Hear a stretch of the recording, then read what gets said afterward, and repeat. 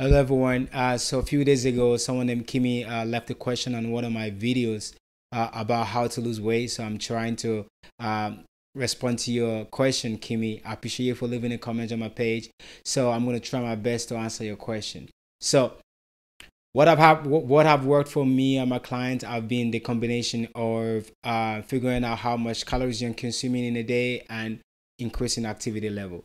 And I try to plan my programs around three laws that I follow every day by myself and my client also follow, which is simplicity, frequency, and consistency. So, simplicity in terms of dieting, I try to keep everything um, that you know I'm planning for my clients to be as simple and as straightforward as I can. Also, if you don't have access to any diet right now, you can use any of the apps, MyFitnessPal, LifeSum, Noom, anyone just to kind of figure out how much calories you are consuming in a day. So that way you can know what amount of activity you should be engaging in to burn those calories. All right. And in terms of frequency, I always try to plan my programs uh, consisting of working out between four to six days in a week.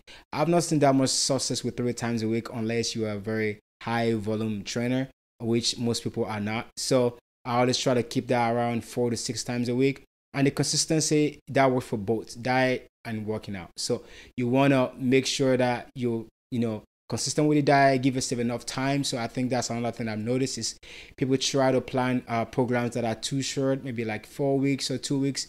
I always give minimum of like, around eight to twelve weeks. Give yourself time to you know learn mistakes, figure out what your body really like, figure out what you like in your diet or what kind of workout you like to engage in.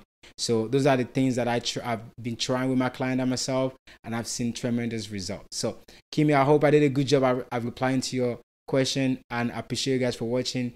Ask more questions on my page. I will try my best to reply back. I appreciate you guys. Bless up.